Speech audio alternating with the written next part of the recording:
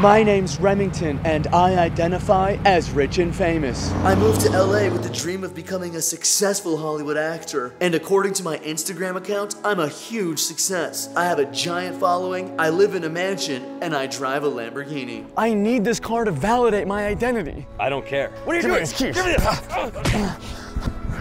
I have to go through a lot to pass as rich and famous. Some people need expensive surgeries to validate their identity. I have my own expenses. Oh, please, not now. Seriously, no. Stop. I'm on my way to a crazy event, and there's gonna be a ton of chicks. Why should I be treated differently than someone who's actually rich and famous? Money and social equity should have no bearing on what you have access to and what you're able to afford. Even though I'm rich and famous presenting, some days I still don't feel valid in my identity. So you wanna fool around? Is this your wallet? It's empty. Oh, yeah.